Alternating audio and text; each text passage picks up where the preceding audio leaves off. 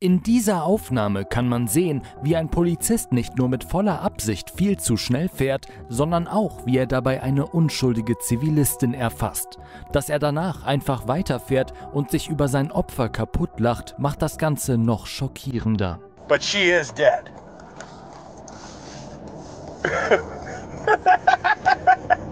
Tatsächlich hatte dieser Fall fatale Folgen und zeigt, dass auch Polizisten komplett falsch handeln können.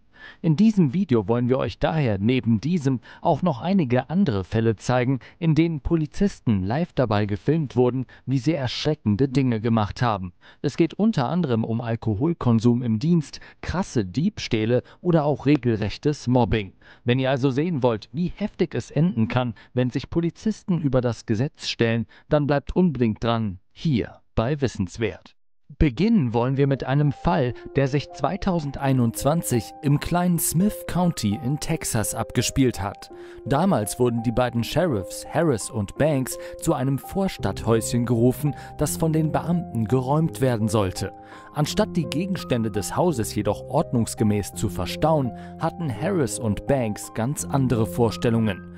Banks wollte dafür sogar die eigene Bodycam ausschalten, fuchtelte jedoch so ungeschickt an der Kamera herum, dass sie sie sofort wieder einschaltete.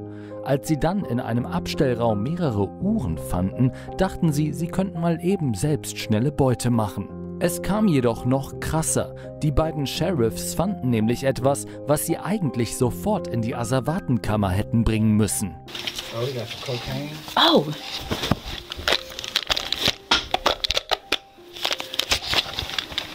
Neben Uhren und harten Substanzen ließen die beiden es sich außerdem nicht nehmen, ein bisschen Bargeld mitzunehmen.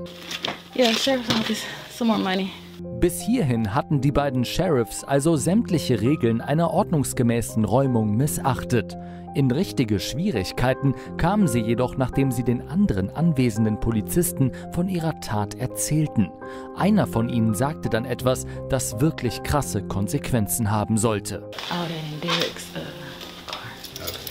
Spätestens jetzt war die Sache klar. Die anwesenden Polizisten hatten nicht nur unerlaubt Gegenstände aus dem zu räumenden Haus gestohlen, anscheinend hatten sie auch noch die Absicht, mit dem ohnehin schon illegalen Diebesgut auf verbotene Weise Geld zu verdienen.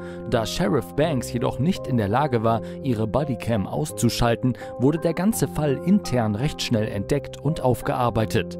Dies brachte ihr selbst eine Strafe von 18 Monaten auf Bewährung ein. Ihr Partner Sheriff Harris wurde hingegen zu fünf Jahren Bewährung verurteilt und musste 10.000 Dollar Strafe bezahlen. Dass beide zudem ihren Job verloren, versteht sich natürlich von selbst. Schreibt uns an der Stelle mal in die Kommentare, ob ihr diese Strafen für angemessen oder für zu hart oder zu mild haltet. Wir sind gespannt. Eine ganz andere Geschichte hat ein Polizist namens Scott Bertzig erlebt. Dass es als Polizist zum Tagesgeschäft gehört, andere Autofahrer auf ihre Fahrtüchtigkeit zu kontrollieren, sollte ihm als Polizeichef eigentlich bekannt sein. Dass man sich als Polizist aber selbst zu gefährlichen Verkehrssünden hinreißen lässt, ist dabei umso schockierender. Nach einer Silvesterparty am 1. Januar 2021 war Bertzig in einen Verkehrsunfall verwickelt, bei dem zum Glück niemand zu Schaden kam. Als junge Polizisten dennoch den Tatort inspizierten, fiel ihnen etwas an ihrem Boss auf. Good. walking home, but yep, I'm good. Because I I'm not I'm not really comfortable with this whole thing at all. But I'm not gonna lie to you about it. Oh no, I, I, I don't mean to put you in that. Yep. Yeah. Scott Bertzig war offensichtlich sehr betrunken. Ein Umstand, der am Steuer mit schweren Verkehrsunfällen schnell zu langen Haftstrafen führen kann.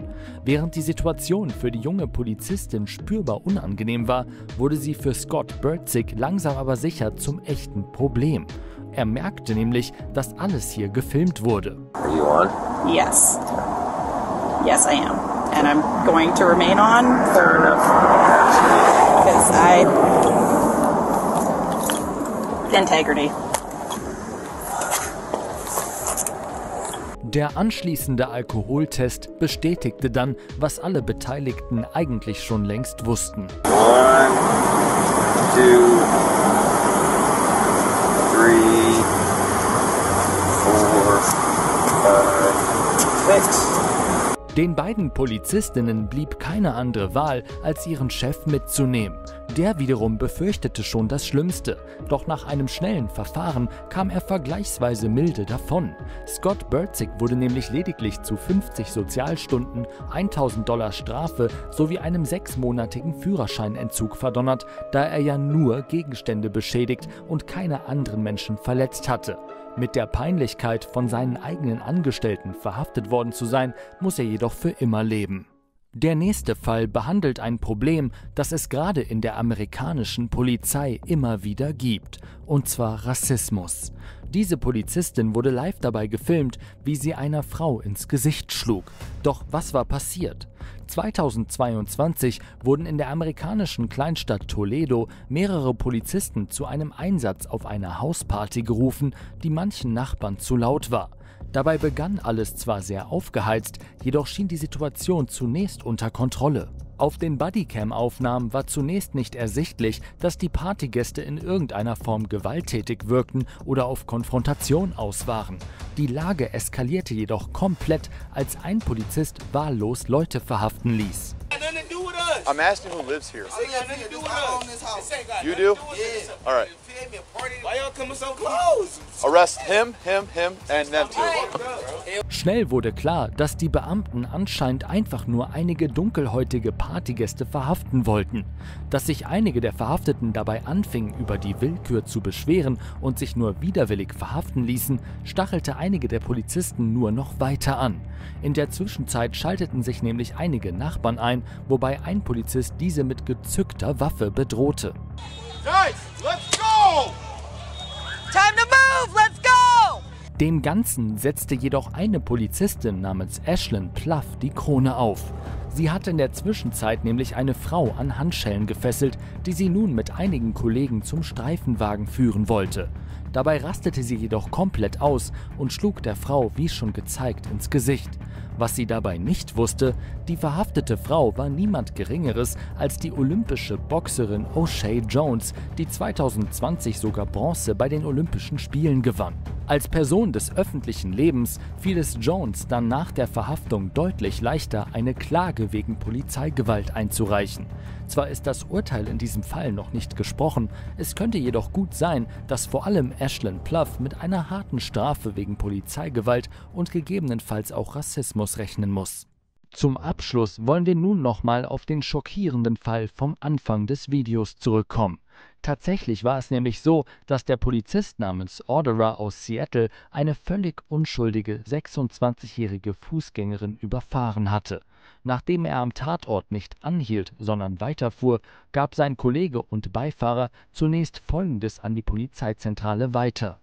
That's not out of control. That's not reckless for a trained driver. Die Polizisten versuchten so zunächst die Schuld auf das Opfer zu schieben. Dass sie sich danach jedoch über die junge Frau lustig machten, zeigt, wie sie über diese Tat wirklich dachten. But she is dead.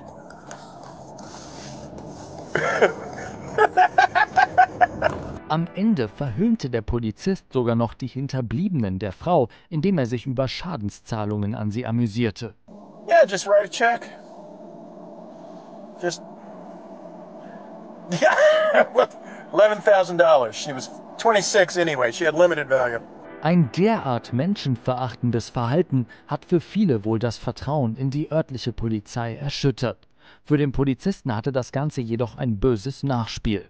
Nachdem er sich nämlich über die ganze Tat kaputt gelacht hatte, fiel ihm auf, dass seine Bodycam noch an war und all seine Kommentare aufgezeichnet hatte. Nachdem zudem der Tatort genauer untersucht worden war, wurde deutlich, dass diese Aktion nicht ohne Folgen bleiben kann. Aktuell läuft daher ein Verfahren wegen Totschlags gegen ihn. Auch wenn dieses Video Polizisten in ein sehr kritisches Licht rückt, wollen wir an dieser Stelle aber auch nochmal betonen, dass derartiges Fehlverhalten natürlich eine absolute Seltenheit ist und sehr viele Polizisten im Gegensatz zu den hier gezeigten Beispielen gerecht und gewissenhaft ihrem Job nachgehen und dabei wichtige Arbeit leisten.